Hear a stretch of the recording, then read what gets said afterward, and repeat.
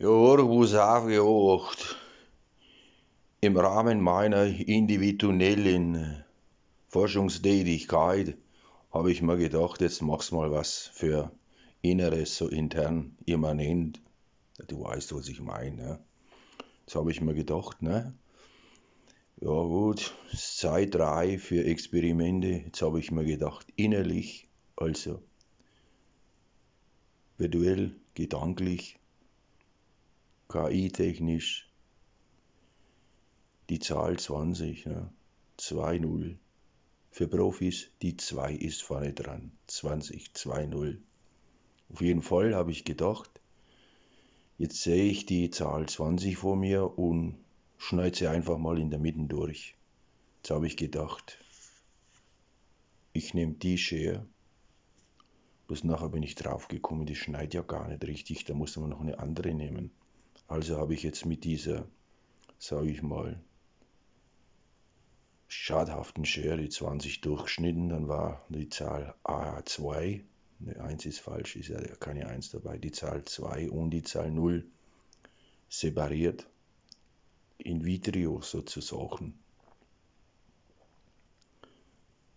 Und dann habe ich mir gedacht, wenn das jetzt rauskommt, jetzt ist ja die Zahl 20 virtuell ja, kann man sagen, nicht mehr vorhanden. Weil wenn es die Zahl 20 teilst, 20 durch äh, äh, 20 durch die Zahl ne, 7, ne, kommt ja eine normale Zahl. Du weißt, was ich meine. Das Ergebnis ist ja bekannt. Ne?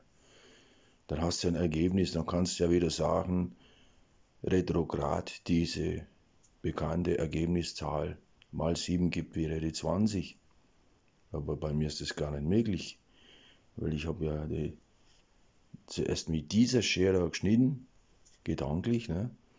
und dann äh, habe ich es auch ra rausgerissen, voll so, wie bei einem Blatt. Ne?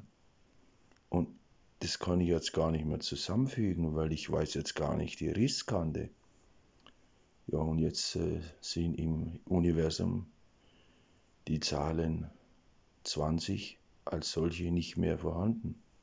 Ja, aber wenn das rauskommt, da ist ja, und es wird ja rauskommen mit KI und so,